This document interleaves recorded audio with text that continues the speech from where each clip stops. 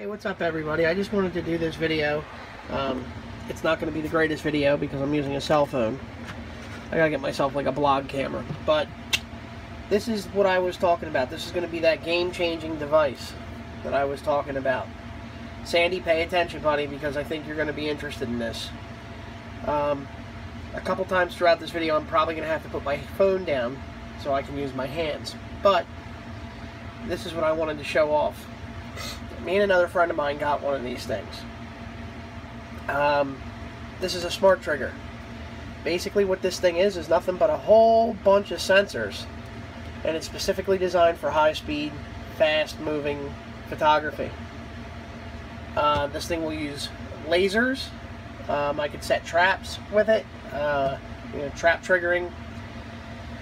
What that would be good for, uh, sort of like when horses are running through uh, jumps or maybe doing something as far as uh, cross country.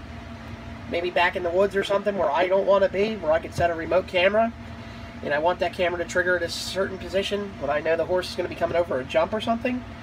I could then take the camera, attach it to a ball head, and then attach that ball head to like a platypod and then strap it to a tree. I would then tie this trigger into a uh, pocket wizard, set the pocket wizard to fire, put one up in the hot shoe of my camera, and as soon as this thing sensed that laser beam would break, it takes this trigger two nanoseconds. I don't know how long a nanosecond is, but I imagine it's ridiculously fast.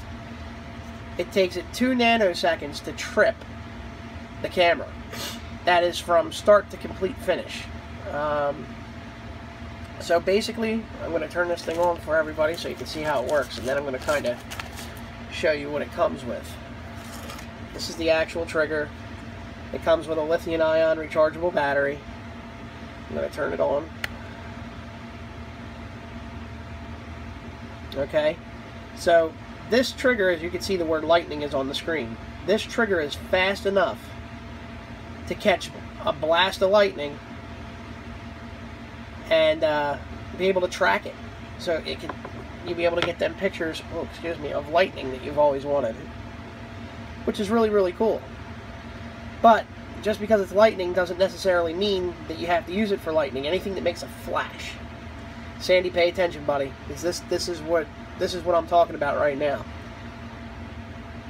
Have you ever been out of Gettysburg or out on a field and you're looking for that epic photo of when the cannon goes boom and you want that big blast of fire coming out of it? Well, I'm willing to bet that this little trigger is going to be able to pick that up. The reason why it'll be able to pick that up is when I go into the menu, I hit settings, you can actually set the sensitivity of what you want this thing to see.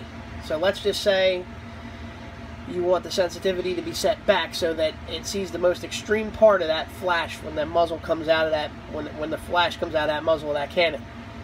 This thing's to see it, and not only will it see it, but it's going to capture it because again, two nanoseconds is fast. Again, I don't know how fast it is. It just I know it's got to be very very fast.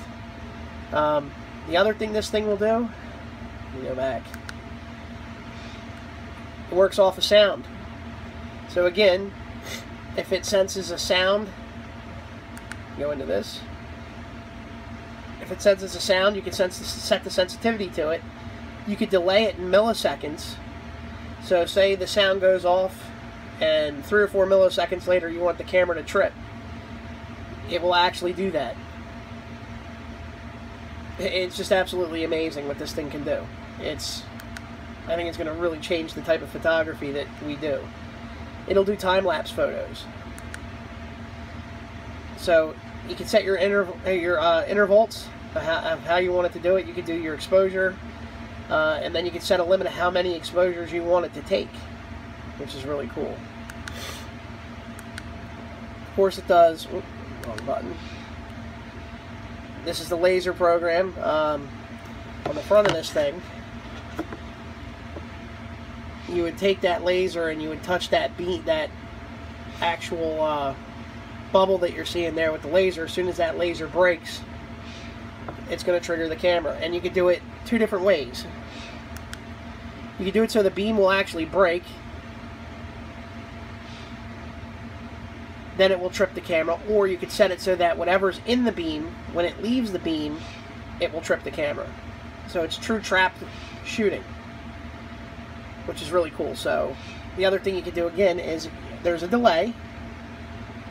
Like if I knew the horse was coming over that jump, say, as soon as that horse would come through, I would want it to break the shutter for, I don't know, we'll just say three or four milliseconds, which is probably ridiculously fast.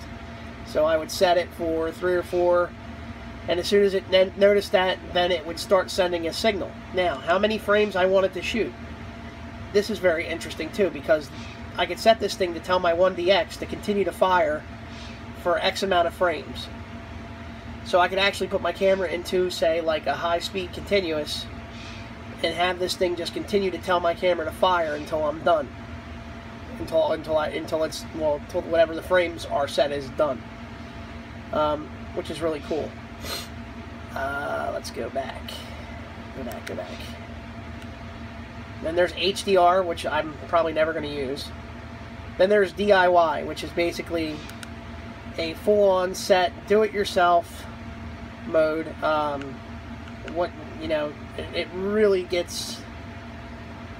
It actually is able to sense motion, which way things are going, if it's rising, if it's falling, if uh, the direction of whatever it is going to be changing.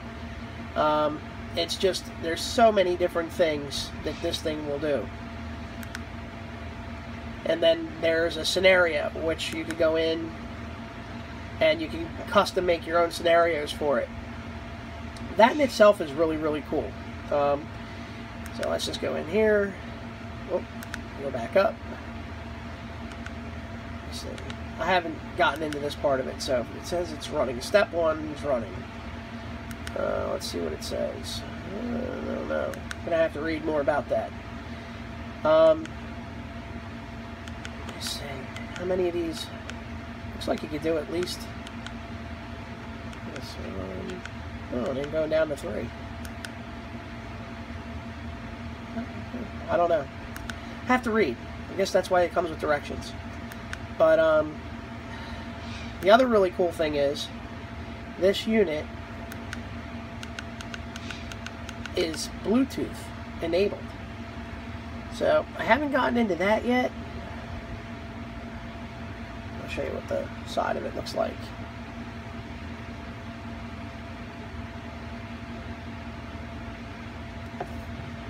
It's all gaskets sealed. So this actually comes with a rechargeable battery, which is really cool. So what it comes with, here's a little quick start guide, which is probably what I should have read. Comes with this cable this is how you would hook it up and do your software updates and so on and probably what I would have to do to go in to set up my case scenarios because it's probably going to have to be done from the computer um, and it comes with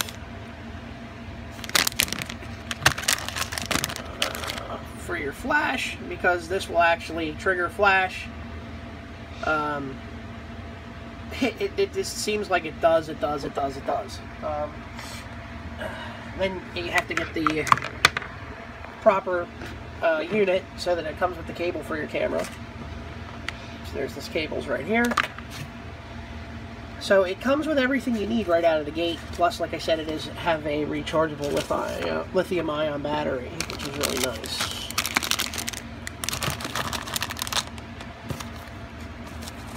So I know there's a couple people that were asking me about this and were asking me about that, how it works. Does it actually work? So, right here is my 1DX. Let me get this thing out of the way. Okay, I'm going to actually show you how this mounts up. If I can do this, again, I'm using a cell phone and a desk light, which is probably not the coolest way to do this. Let me see. I gotta get a blob camera, guys. That's what I gotta get. Let me see. Well, I'm going to open the port on the side of the camera, which is probably not all that important to you guys. I'm going to set the phone down for a minute. So I'll set it up. You guys can enjoy my ceiling for a minute.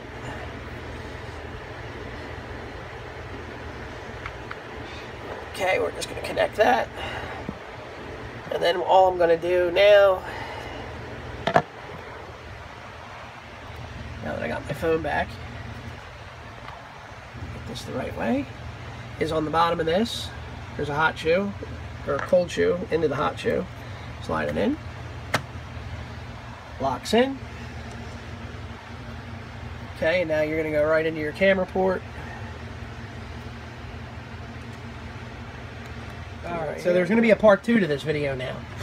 My phone's rang like three different times, which is really, really cool. I appreciate it when that happens because it stops my video, even though this video is not the best video. But right now, I'm going to show you what I'm going to try and do before I get another call. Uh, so the front of the camera's capped. Trigger's up top. Trigger's on. Waiting for light. Okay. So, the camera is on. You can see that it's on. So, right now I'm running it in lightning mode. So what's going to give us that lightning is my flash. So what we're going to hope to see is, is when I hit this flash, we're going to hear my camera trip. You can see no hands. Hopefully we'll see the flash and we'll hear chink. There you go. Let's do it again. And again. And one more time. So it's definitely picking it up. So that'll give you an idea how quick it happens. You don't even see the, now it's just taking pictures of the light because it sees it. Um, what we're gonna do, let's go back. This thing's very sensitive. All right, so now we're in sound mode. I'm gonna drop the sensitivity down because I don't want this thing to go crazy.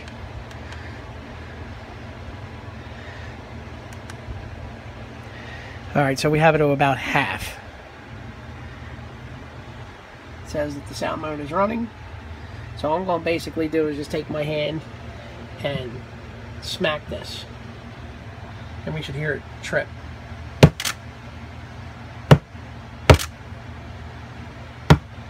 And again, this is a sensitivity issue. So if I turn the sensitivity up,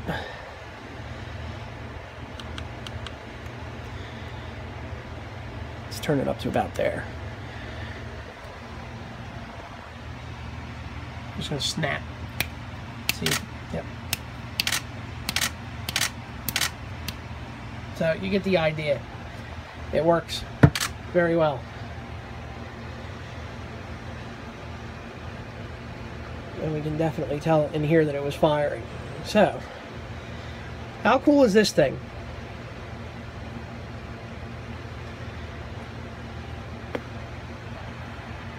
There it is. That is the Miops Smart Trigger. Now the other thing that it will do, I'm going to shut this off because there's no point in keeping it running. Yeah, yeah, yeah, I know. Click, click. Is it's Bluetooth enabled, which means it'll hook up to my telephone. And then I can control my camera completely from my phone. So true, you know, remote shooting. But the other idea that I have with the Pocket Wizards, I could go right into a right into the PC port of the Pocket Wizard or I'm sorry, the sync port.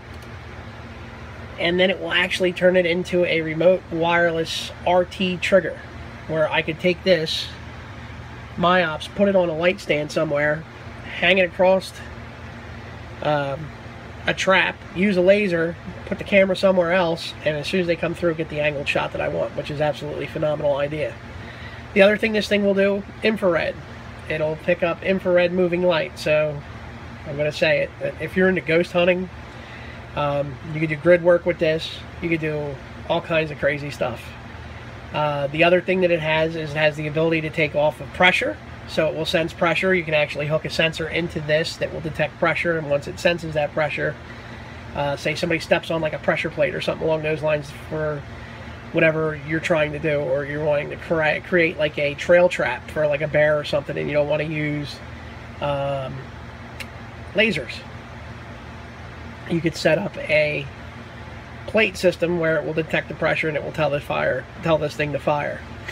Um, there's just so many different things you could do with it. I think it's basically an, one of those tools that's it's going to be one of those endless opportunities. Um, but this is it. This is the Miops Smart Trigger. Sadly, uh, Allen's doesn't have these guys in stock. I don't even know if they know about these. Uh, I think they've been out for a little bit. There's an, uh, the company's name is Nero. Uh, they made a different type of trigger system, but this is the newer one. Um, I don't know. Is it going to make a huge difference? Who knows? But for the type of photography that I'm doing, I thrive on high speed, fast moving stuff. So this is just at home, you know. I, I love that kind of shooting. What I'm actually thinking is, too, I could probably get away with hand holding my camera in a situation where I'm looking for high speed. Sort of like the cannons when they're, you know, shooting and firing and I want to capture that blast. Well, my finger's only so fast, but this trigger is a hell of a lot faster than I am, so I'm still not going to be losing my ability to creatively hold the camera. I'm just going to take the human element out of it and allow the camera to fire on its own uh, when it needs to. I'm only so fast. And sure, the camera's got 12 frames a second, but who wants to go through a thousand photos to find one or two that you want or need when you can just set this Miops up to do what you want it to do? Makes more sense. Lastly, the other thing that I could see myself using this thing for is going to an air show. Um, I don't know if it'll work, but the idea behind it would be to capture them sonic booms when the cone comes around that plane, that's very difficult to get. I've been able to do it a couple times, only because I've sprang the hell out of the plane with the, with high-speed continuous. So again, I don't know if that boom is two nanoseconds. I don't even know how fast, like I said, two nanoseconds even is. But will it catch a sonic boom? I don't know. Maybe, maybe not. So it's going to be interesting to see how it actually works. Um, just from playing with it a little bit here, it's really cool as shit. Um, I, I really think it's going to be one of those things that's going to be like a wow thing. I don't think it's one of those party favor things. I actually think that it's going to make money. So this is it. This is the Miops Smart Trigger from Nero. Sandy, you got to check it out, man. I think it's going to be a game changer. All right, buddy. I'll see you.